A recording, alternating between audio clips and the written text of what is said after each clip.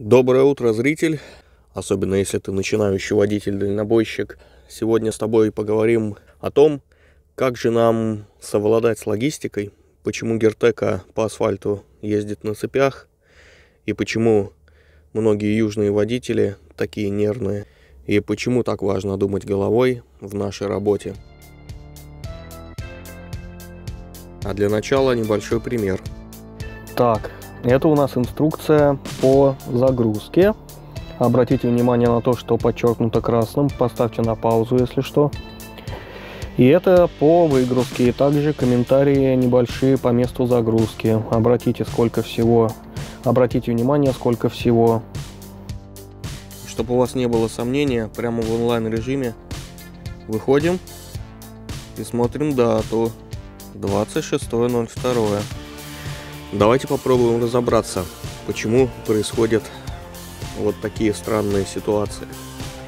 Что мы имеем? У нас есть клиент, которому надо отправить товар. У нас есть получатель.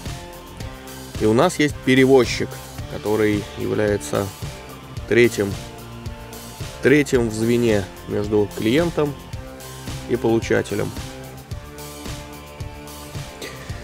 Спрашивают, нет ли у меня свободных водителей.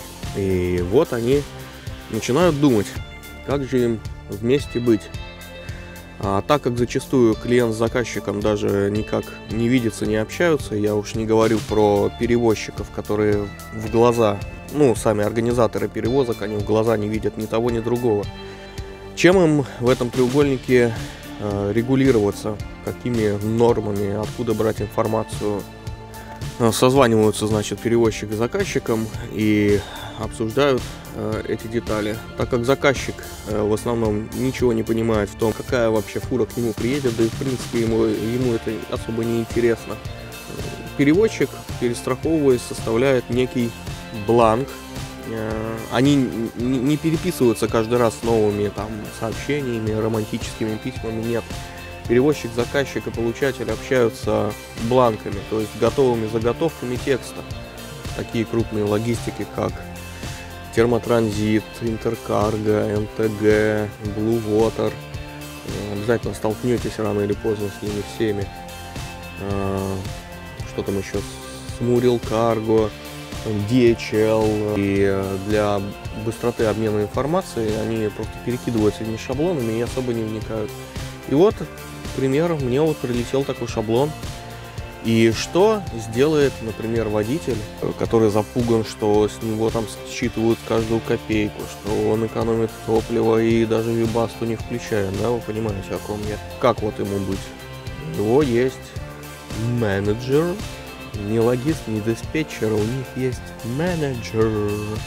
Получает вот такое сообщение, на английском. Боже, с трудом его переводит через Google переводчик.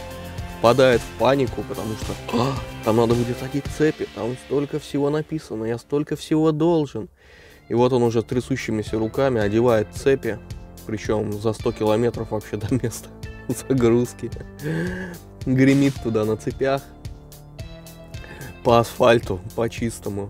Вот и я получил сообщение, прочитал, думаю, ну, февраль месяц, Мало ли чего можно ждать. Полез смотреть прогноз. Да нет, плюс 5, плюс 6. Полез смотреть Вигвесом. Нигде никаких ограничений нету. Звоню э, логисту, э, спрашиваю, я говорю, почему такое письмо? Я говорю, что там, что там происходит? Я говорю, ДХЛ груз, я говорю, зачем крепить ремнями? Вообще ДХЛ, легкие грузы, никакой крепежки ремней там не, не предусмотрено. Это, скорее всего, даже будет запрещено. Я говорю, груз легкий, я говорю, какие цепи вообще? На улице плюс 8. Ну, что вы несете? Готов с тобой поспорить. Я говорю, парень, что это просто шаблон. Шаблон для болгаро-румынской гвардии. И так оно и оказалось. Чистый асфальт. Логистика сказала, одевай цепи. Здесь снег. Поэтому вот надо думать своей головой и смотреть сайт Вигвесом. Абсолютно легкий груз, на который мне запретили строго-настрого вообще даже накидывать ремни сверху. Никаких даже холмов я там и близко не увидел, каких-либо критических подъемов. на которые ну, даже, даже двухосник бы въехал, даже зимой по снегу, тем более с таким легким грузом. А так как многие водители, они вот работают по, инс- по инструкции, вот как написано, я буду делать. И это правильно, с одной стороны-то это правильно, ведь как ты с этим поспоришь? Он получил инструкцию, он по ней все сделал. Неважно, что там лето, он одел цепи. Неважно, что там э, вообще в грузе, он затянул ремнями. Неважно, что там э, электророкла прописано, он загрузил все ручной и первый попавшийся, который увидел. И ему, в принципе, все эти нюансы не важны абсолютно. Он все, он, он нервничает, он на панике, он одевает цепи. Он знает, что если, не дай бог, он что-то где-то неправильно сделает, 30 ударов плетью, и он не получит свои миски риса. Ой, жестоко я, да? Но так оно и есть, к сожалению. В данном случае речь шла о, гру- о грузе на терминал DHL или DHL, э, если по-простому, из э, маленького терминала в городе Амот в Норвегии. Ну и, собственно, по тем же самым причинам, а, например, а, я обгонял Гертеку на цепях на Е45 на вполне себе хорошей ровной дороге от э, Крисуанта до Виттанги. Выпал первый снег. Сейчас покажу видео.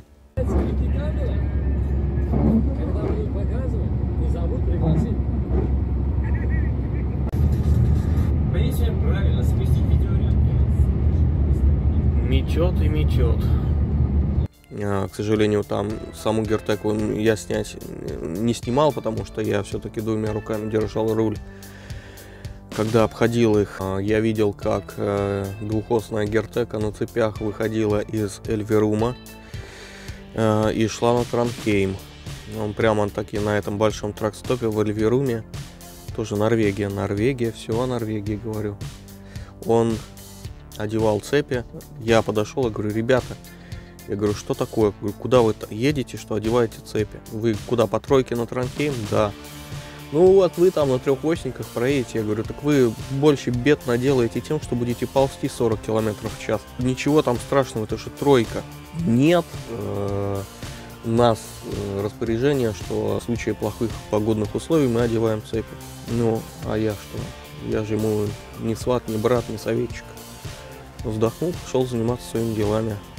Ну и что уж говорить, на этих арабских галерах реально ребята даже ночуют иногда на трак-стопах прямо в комнатах отдыха.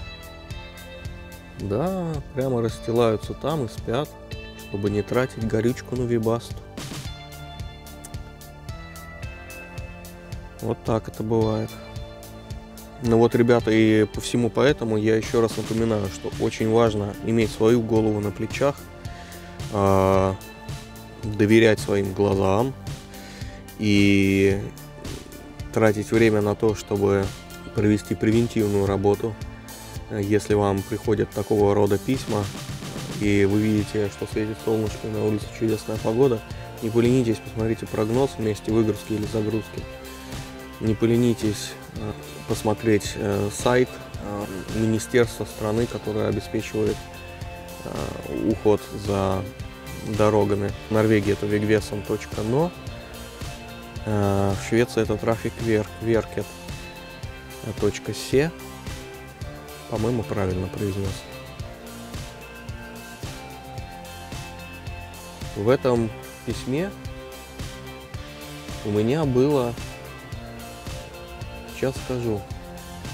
У меня было прописано раз, два, три, четыре, пять, шесть, семь, восемь, девять, десять. Десять инструкций для водителя. Сколько из них мне пришлось соблюсти, не нарушая никаких норм, правил и никого не обижая? Давайте я вам скажу. Я грузился сам, выгружался сам. Два. Я был, э, как всегда, э, polite and helpful. Ну, helpful, что helpful? Я сейчас все сам делал, никак, сам себе помощник, окей. Я был очень вежлив со старшим склада, очень вежливо пытался допроситься у него электророклу, но он сказал, что в связи с некоторыми событиями, я так подозреваю, что кто-то это электророклы грохнулся куда-то, а, мы грузим вручную. Но я сказал, хорошо. Итак, у нас округлим три пункта. Крепить, забудьте про все это. Двойных палетов там не было вообще, которые указаны в инструкции. Право на погрузчик не потребовались. А, они при, при, будут привозить палет за палетом, чтобы ты успевал грузить. Нет, э, парнишка взял все палеты просто и запихнул мне до половины прицепа, и я их просто по прицепу рассортировал. Очень позитивный гость из Африки. Так, по поводу выгрузки. Надо было выйти и кого-нибудь найти. Ну, э, такая инструкция, ребята, ну, ну а как? Как вы, как вы будете выгружаться, просто сидя в машине? Ну, серьезно. Окей, мы это сделали. Давайте прям по инструкции дословно. Мы это сделали. Помните дать нагрузку на ведущую ось, потому что выезд будет а, наверх холма. Весь груз весил 2 тонны. Он весь был впереди. Автоматически ты будешь грузить его вперед. Ну, а как иначе? Окей, соблюли. 5 пунктов набралось у нас? Набралось. Половина, ребята. В итоге вся процедура э, заехать на территорию, загрузиться и выехать с территории заняла, я смотрел по тахографу, заняла 42 минуты. Все.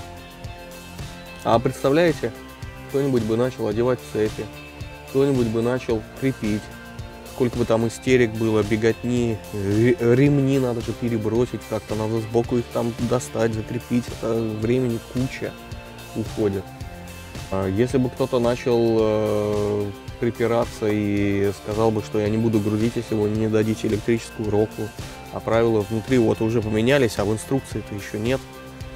А, да, а, вот еще одна инструкция. Не по инструкции я действовал. Здесь был указан номер, по которому надо было позвонить, когда ты приезжаешь на, на выгрузку. А, приехав на выгрузку, там огромными буквами, цифрами написано а, For unloading, please call и номер. Разумеется, другой. Я, я включил послушного раба и позвонил по номеру, указанному в инструкции. Как вы думаете, дозвонился ли я? Нет, этот номер более не обслуживается. Вот. Так что я спокойненько набрал номер, указанный на воротах, и, и все было окей. Короче, ребята, думайте головой, не поддавайтесь панике, трезво оценивайте ситуацию и свои силы. Набирайтесь опыта и не бойтесь логистов или менеджеров, как вы их там называете. Или диспетчеров, что еще вообще самое страшное подкаста логистического предприятия. Я объясню как-нибудь в следующих роликах, почему. И все будет хорошо. И нервы ваши будут целы. Удачки. Пока. Так, по навигации есть нюанс. Когда вы ищете адрес 705 94 и улица Пакетваген, и ее нету по индексу. И тогда просто без паники вбиваете сам город назначения и ищите улицу. Вот он, Пакетваген. У нас номер 10. И все. Супер. И не забудьте про высоту, ширину и прочее. Кстати, осей у нас 6. Все. Погнали. Удачки вам.